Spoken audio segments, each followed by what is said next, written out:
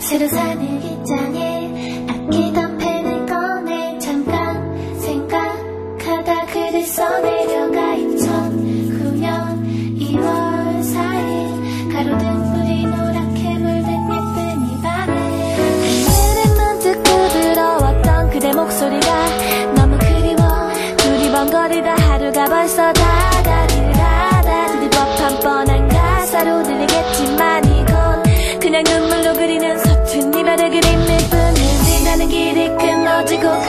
추억이라는 또 나는 미치도록 다 빛에 도로를 걸으며 큰 소리로 네 이름을 입에 담아 우리가 얼마나 많이 사랑했을까 하늘에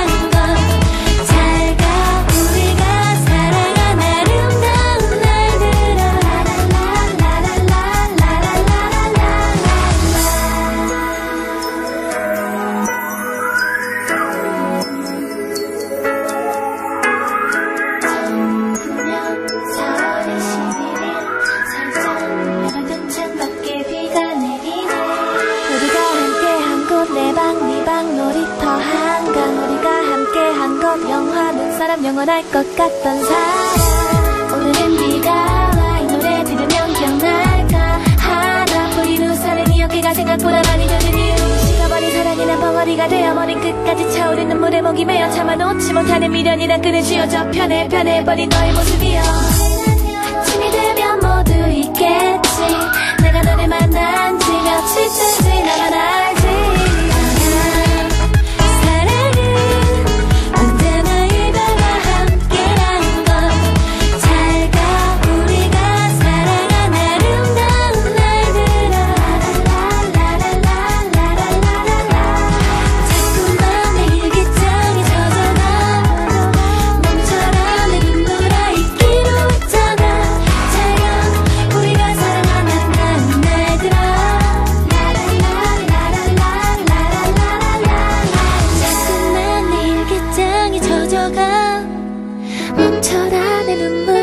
있기로 했잖아